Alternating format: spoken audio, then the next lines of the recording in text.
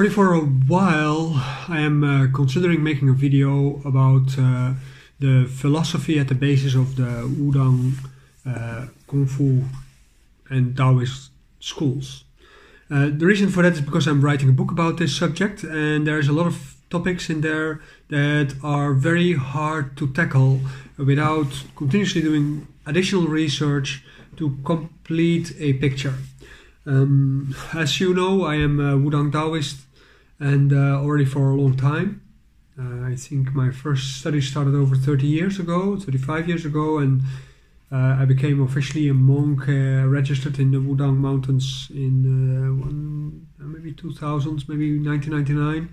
Anyway, the first time I came to China for that purpose was in 1999 and uh, I did do some research, of course, before I started that to see where I would uh, end up with and what I would end up with.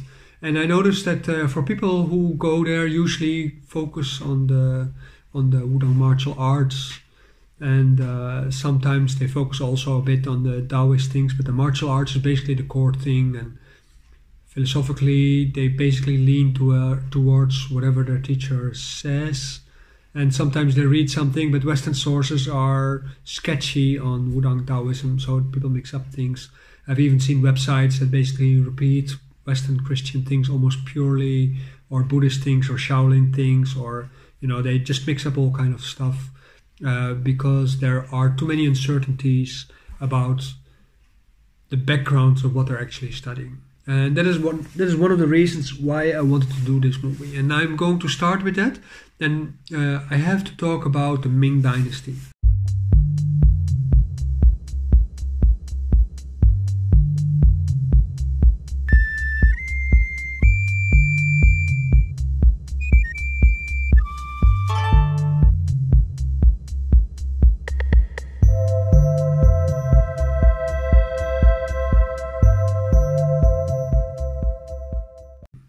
That is one that is one of the reasons why I wanted to do this movie. And I'm going to start with that. And uh, I have to talk about the Ming Dynasty as a result of that. And it refers also to the present because it's very important. The Ming Dynasty was started by a peasant, and this peasant he became emperor, and he created a model which is uh, very authoritarian and uh, very much uh, micromanaged and that is also the model that Xi Jinping and Mao Zedong uh, keep in front of their minds uh, as a model, a Chinese traditional model or historical model for their form, their brand of communism. So, in that sense, uh, it is very interesting to study Ming Dynasty also for this time. And it is additional interesting because Many Taoists that I spoke with in the last years, they consider Xi Jinping as an epitaph of uh, Taoist Taoism. Like they saw Hu Jintao as a liberator of Taoism because he talked about the Yang Wu Xing sometimes. I'm not sure if I can agree with it, but I can definitely agree with the fact that uh, he is uh, following the playbook of uh, the Ming Dynasty. And if that is Taoism, I don't know. But in this series we have to figure out how these things relate to each other. So this is what we're going to do.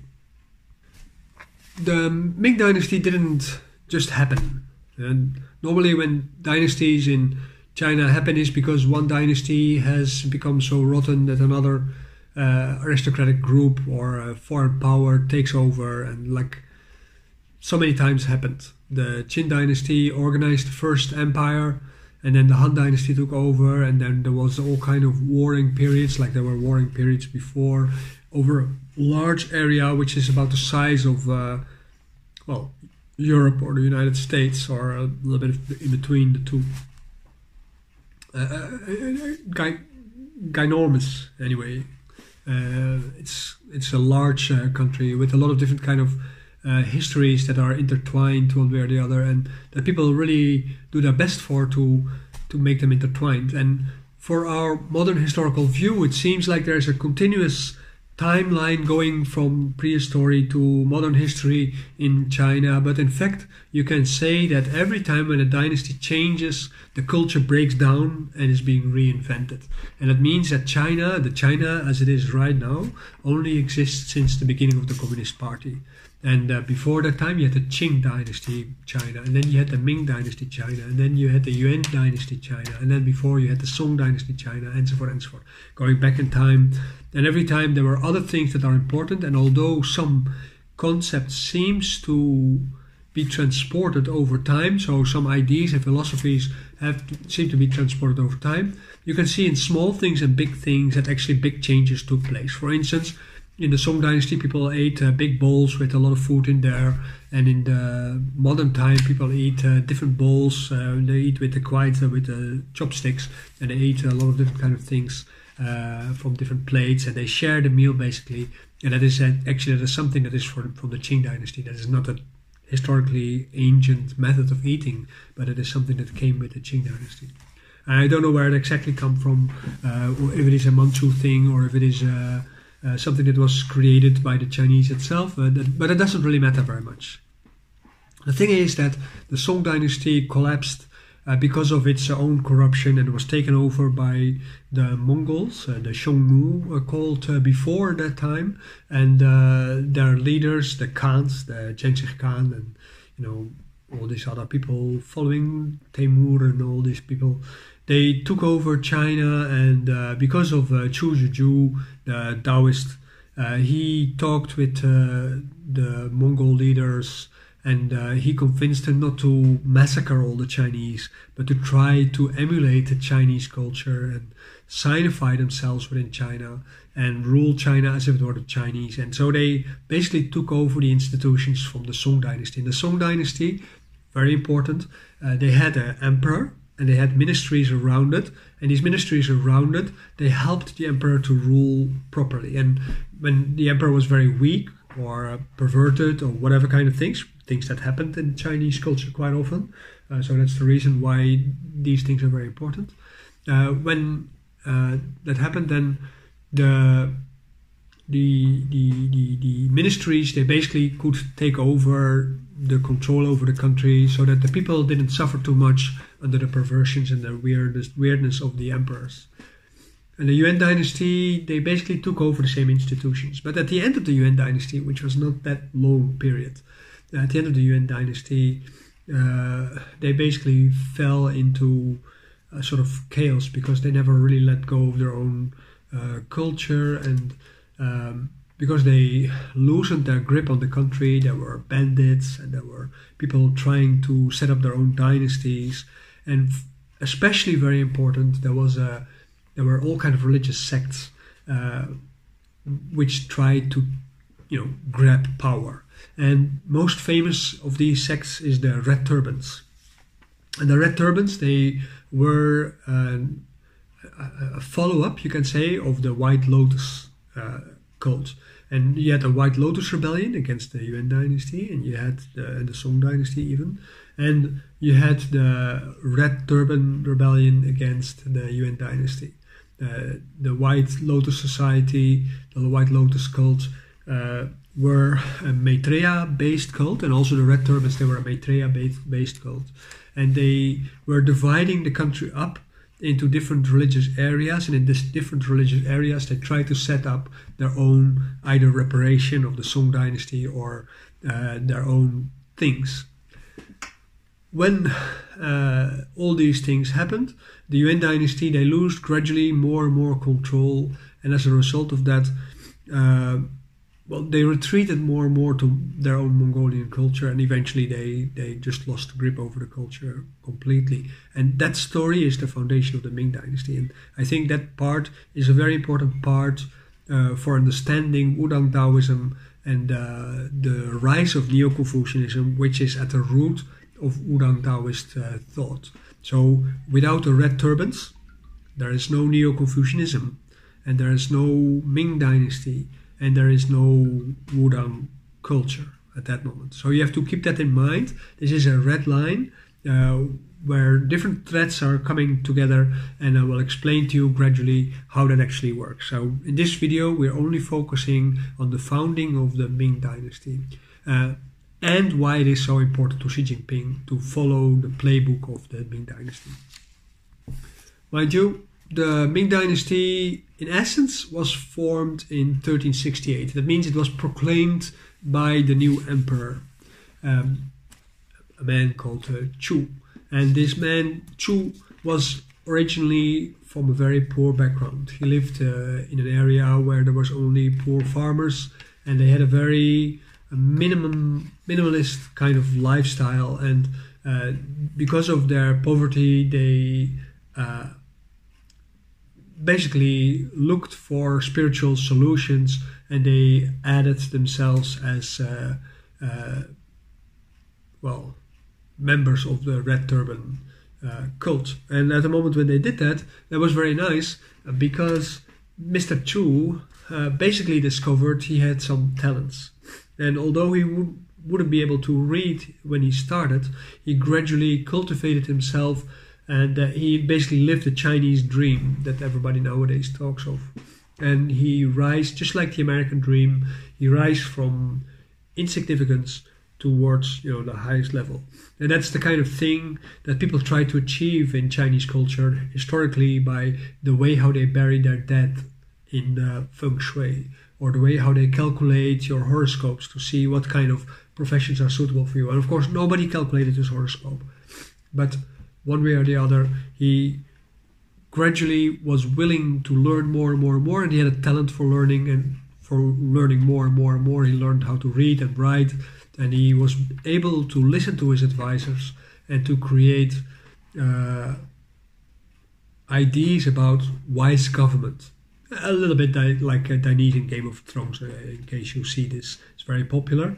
Uh, she has some people around her that give her advice, and uh, she has to control her own impulses. And this Mr. Chu, the same, he had to control his own impulses sometimes uh, to be able to get the right kind of image so that people in China could recognize that he was acting in accordance to the mandate of heaven. But that didn't come up by itself. In the beginning, he was just a soldier, then he became an officer, then he became a general, then he became a governor of a particular area. And when the whole of the Red Turban Rebellion uh, started falling apart together with the Yuan dynasty, when the Yuan dynasty was basically already collapsed. And at that moment, his area, the way how he organized it, remained stable. He had set up organizing uh, organized government governance, taxes. He had his own coins.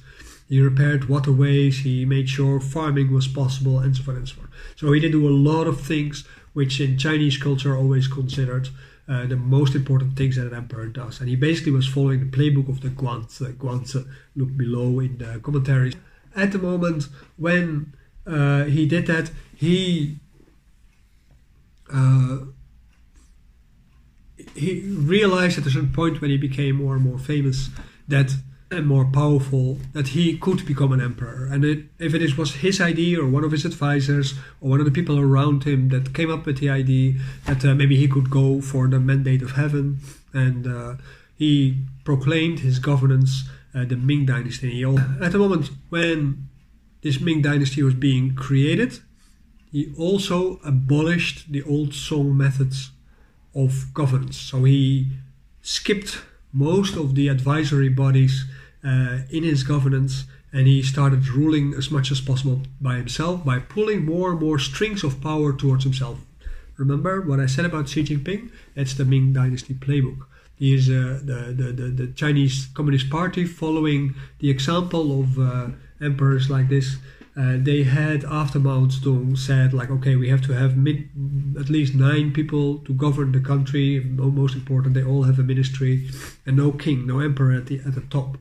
And uh, what uh, Xi Jinping does, he collects as much power to himself, so that basically all the other ones they are less than him, and then he cut off a few, and he will probably try to cut off a few more. But that's a very important thing he listened to his advisors, and they were Confucians, and uh, Neo Confucianism got a big chance to talk with him. And the Neo Confucians didn't like his connections with the Red Turbans uh, because they were like a salvation sect that were proclaiming the end of the world, also a little bit. And uh, yeah, they had messianic kind of uh, feelings, which can be sometimes also quite destructive. So being part origin of the rebellion that brought him power, he eventually also had to put it a little bit to the side to make sure that his governance was not just a matter of uh, following the red turban religious thing, but really that he really became an emperor and become an emperor of all the people in the country, because that's what you know sect leaders and authoritarian people usually do. They they draw a lot of things towards themselves and make everything about them. Now, we know about that uh, from what's happening in the United States uh, lately. Um, nobody has to tell you about that. When he became eventually emperor, uh, he started organizing education better, and for this he needed new scholars, and so he attracted a lot of people with, of reputation, and uh, these are the Neo-Confucian scholars that became really very famous. And I have another post. Uh, we'll also give a link below uh, that is about a few of those people, and uh, I will talk about more of them in a later stage also because all these kind of things are very important to understand Wudang culture. You can't understand it because they talk about the Yin Yang Wuxing and they talk about the Qi, what is Qi, and uh, how that relates to the cosmos and so on and so forth. And these concepts, they are at the core of Wudang culture. If you don't understand these concepts, then because of the vaguities uh, that you then get in your language, you fall back to what you know. I'm talking about energy and all kind of things. And that's basically what you see in modern Wudang culture is that everybody talks about energy, and the Chinese governments like that, yes, because you know breaking with the past is everything they want, right? And connecting with the past is what they try to avoid. So the authenticity of Wudang is not in you know living there or anything like that. Like in my case, uh, I get complained about because in the last few years because of asbestos problems in my school and because of marrying and it not being moral to leave my wife a few months per year alone uh, with the kids. Uh, that's a Wudang culture. That's Confucian ethics.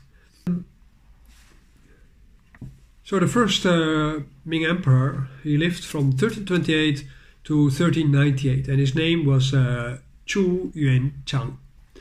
And because he was a peasant in modern China, he is uh, basically famed as being a predecessor of Chinese communism the Chinese government has a problem with the fact that eventually, once in power, he became more aristocratic and royal and so on and so forth. And that is also what you see with all the princelings, of which uh, Xi Jinping is also one. Um, these people, they at a certain point, they believe in their heritage, that they are part of an elevated layer in society uh, that has to obey other rules than the poor people, and they become more and more distanced from uh, the reality where they originally come from.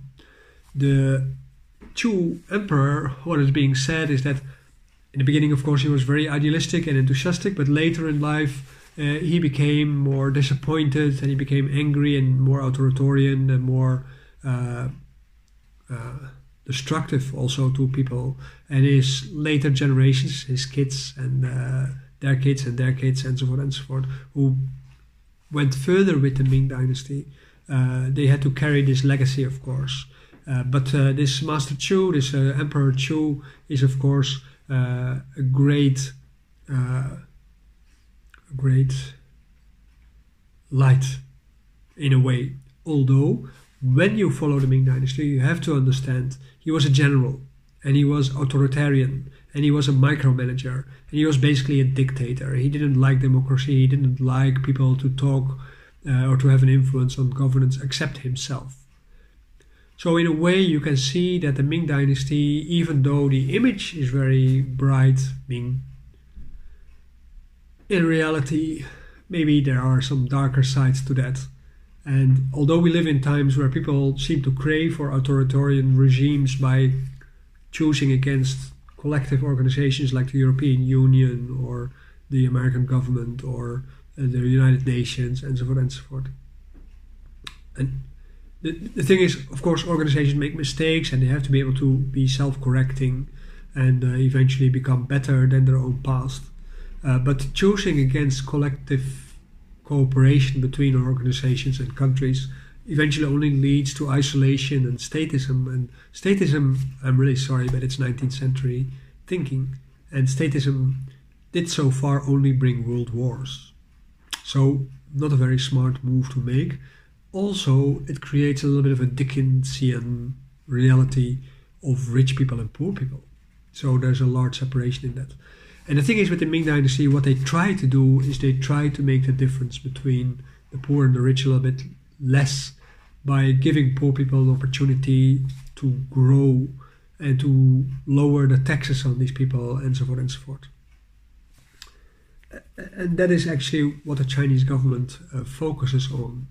The fact that it later changed and that they became more like any other empire, uh, that is something that is also at the same time a thorn in the eye of the Chinese government. And for Wudang, all these kind of things are very important because the Wudang teachers, they are like Chu. They take Chu as an example. So they micromanage the schools. They are bosses. They are not democratic. They are just like, you have to listen to me. That's basically it. Yes, it's very Taoist in a way. It's more legalist. And uh, this is something everybody studying at Wudang, of course, going to study at Wudang, has to realize